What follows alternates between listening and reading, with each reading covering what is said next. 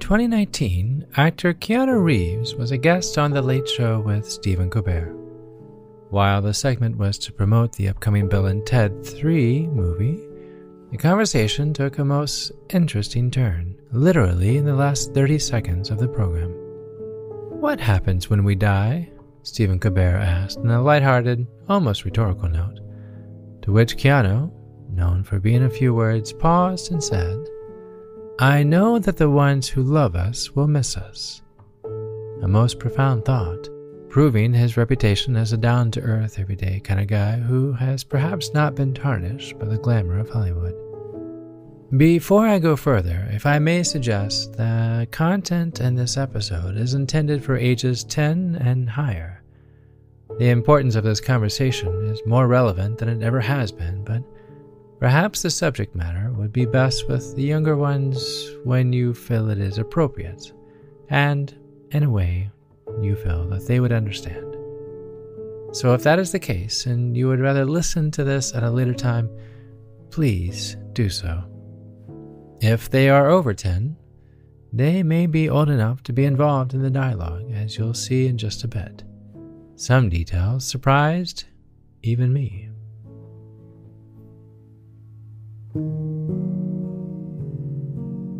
September is National Suicide Prevention Awareness Month specifically September 10th, which is today. This is a special episode. My intention with Calm It Down is to be light, encouraging, hopeful, and to be honest, positive. We have enough negative things, especially this year.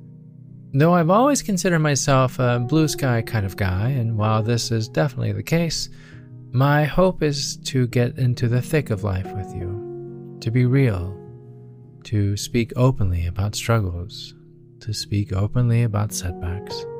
Only then can we begin to make a difference, not only in our lives, but the lives of others. And in regards to suicide, some conversations are simply too important to turn on the sunshine and pretend it doesn't exist, because it does. And while most episodes of It Down podcast are half story, half visual techniques and guidance, this episode is a little different. Every 40 seconds, someone dies by suicide around the world. I want to say that one more time.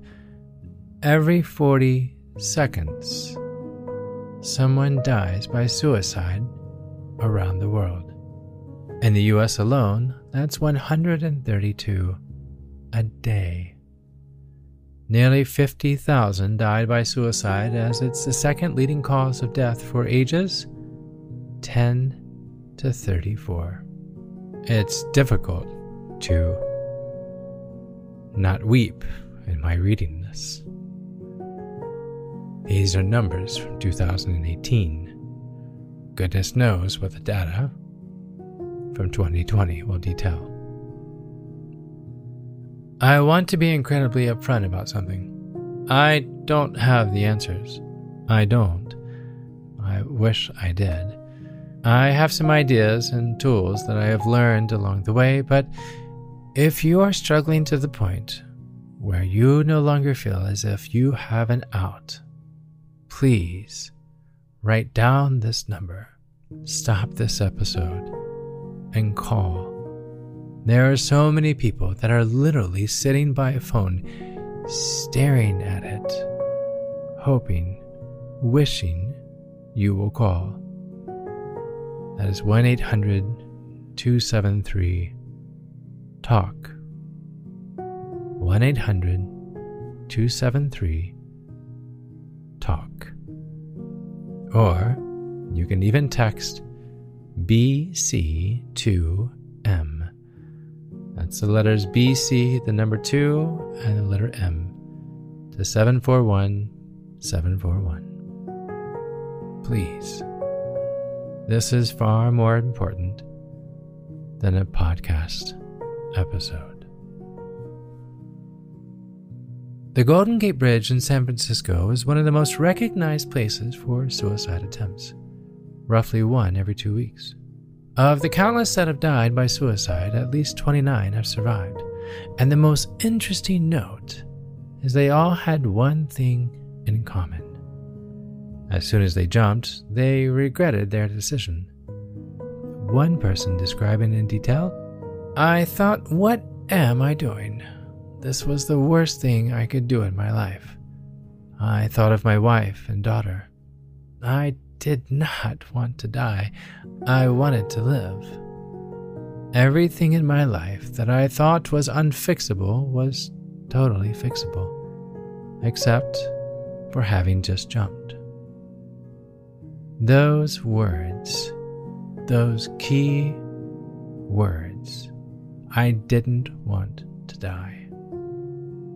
Over 1 million Americans attempt suicide each year. That's over 1 million families in the US that go through this together. So when I say you're not alone, you're not alone. Just as much as you are internally screaming for help, there are so many more wanting to hear you, embrace you, help you. And this is why these conversations are so important. Mental health, and particularly suicide, has been downgraded and only recognized when signs are evident that someone needs help. The approach has been reactive rather than proactive. We know countless proactive measures such as exercise, eating right, and proper rest helps prevent anything from heart disease to obesity. It's only when we notice someone being withdrawn or given away possessions or talking about death until we suddenly realize, oh, that person may need help. Proactive, reactive. So, how do we help? Where do we even begin? Timothy Lawson, no relation by the way, but I do like his choice in surnames, is a Marine Corps veteran and suicide awareness advocate, and most importantly, a survivor of his own suicide attempt. He shares four key elements that I believe are great starting points in this conversation as we continue this path together. The first being empathy. It seems so simple. Oddly enough, it's so simple, it's simple. Empathy, understanding and sharing the feelings of another. That's it. Looking at someone and saying, what are they going through? If their life is crap, help them. If their life is amazing, dance with them. This isn't a time to build walls or to distance ourselves based on opinions.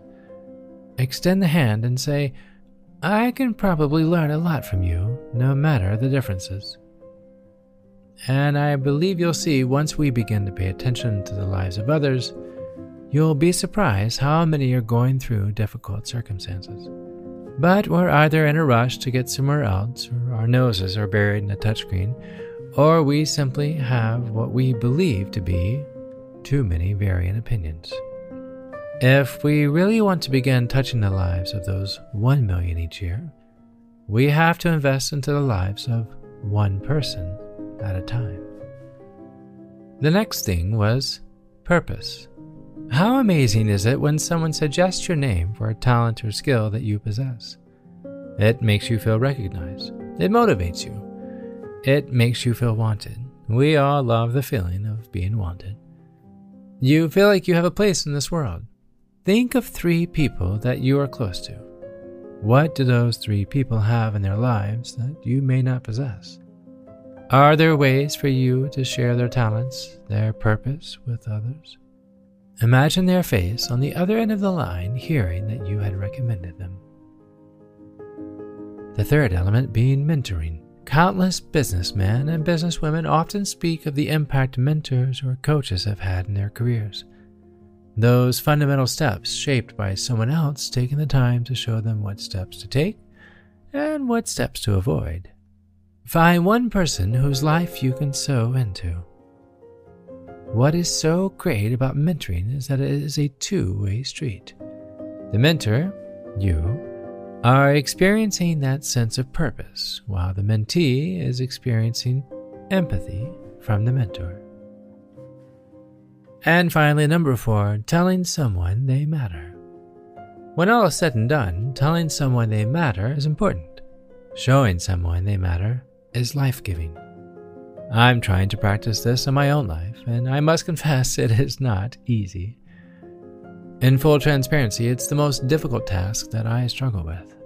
It's not that I don't love my wife, or my kids, or my family, but am I showing them that I love them, not just telling them? Am I marking blocks on the counter and saying, nope, that time is taken? It's difficult, particularly for those of us working at home, juggling a multitude of fires, burning the candle at both ends. But what your kids or close friends see aren't the hours of you toiling, it's the memories of the undivided moments where they are the center of your world. Remember, find a life who you can sow into. Tell them, show them they matter. I go back to Mr. Reeves' weighty words of wisdom. I know that the ones who love us will miss us. Don't miss them while they are standing right in front of you. Tell them, as if their life depends on it, because it does. They matter, and the void of their life in yours would be irreplaceable beyond measure.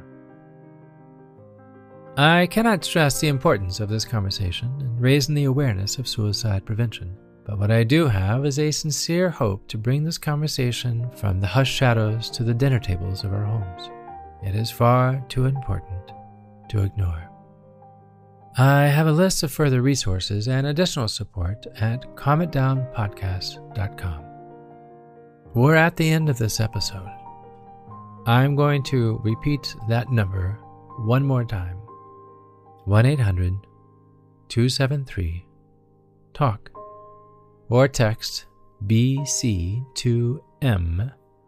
to 741 741. Right now, someone is staring at that phone, waiting to hear.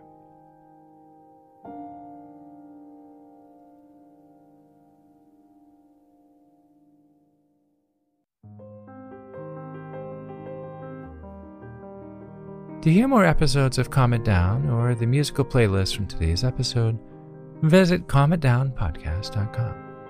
You'll even find additional resources for emotional support, including our online community at our Facebook page. You're not alone. You are not alone. This podcast was written and produced by yours truly, Chad Lawson composer, pianist, and nationally recognized Sweet Tooth. For what it's worth, the views, expressions, and techniques in this episode are of my personal opinion and are not intended to, nor should they serve as a substitute for medical advice or diagnosis rendered to you by your individual doctor or other healthcare provider. Only a licensed physician should evaluate your situation, provide a diagnosis, or render other medical advice to you and you should act only upon the advice of such physician. In short, I am an extreme empath by nature, but my profession is that of a composer and pianist, not a licensed therapist or physician. I hear from thousands of listeners how my music has helped them through various stages of emotional needs and simply want to offer this and future podcasts in aiding those needs. To find a list of licensed professionals and additional resources, please visit calmitdownpodcast.com. You can hear Calm It Down every Tuesday on Spotify, Apple Podcasts, or wherever else you may fancy.